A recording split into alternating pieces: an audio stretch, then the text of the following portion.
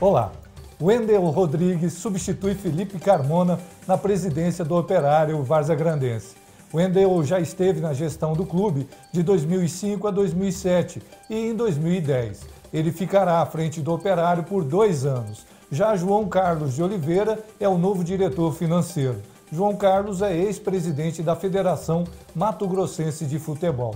O novo presidente do tricolor de Várzea Grande está de olho na Copa da Federação Mato Grossense de Futebol. Por isso, promete fazer contratações de peso para o clube. O governador Mauro Mendes percorre a região de Paranatinga, Gaúcha do Norte e Santa Rita do Trivelato nesta quarta, dia 4 e 5, quinta-feira.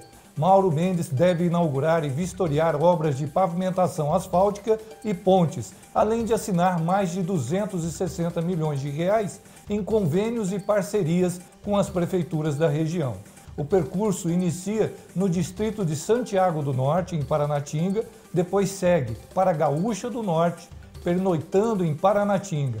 Na quinta-feira, o governador vai para Santa Rita do Trivelato, onde assina vários convênios com outros municípios da região. O presidente do Supremo Tribunal Federal, ministro Luiz Fux, convidou para uma reunião no STF na tarde desta terça-feira, dia 3, o presidente do Senado, Rodrigo Pacheco, do PSD.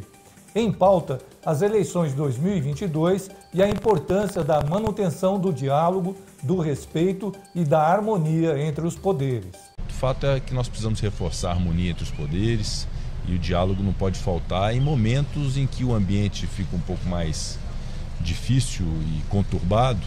É importante que não falte o diálogo para as reflexões, para a tomada de decisões, para o amadurecimento é, dessa relação. Portanto, um encontro que considero proveitoso, importante e que não se encerra por aqui. O senador Rodrigo Pacheco também revelou que o perdão presidencial concedido ao deputado federal Daniel Silveira foi tema da conversa. O presidente do Senado esclareceu que o Congresso não tem poder para cancelar a graça, mas pode propor critérios para que seu uso não cause uma sensação de impunidade. Então, o que o Congresso Nacional pode fazer nesse momento não é sustar o decreto nesse caso concreto, porque, repito, constitucionalmente não cabe o projeto de decreto legislativo nesse sentido, mas pode aprimorar a legislação para evitar que acontecimentos dessa natureza e atentados à democracia, às instituições e aos poderes possam ter fomentado um sentimento de impunidade no Brasil.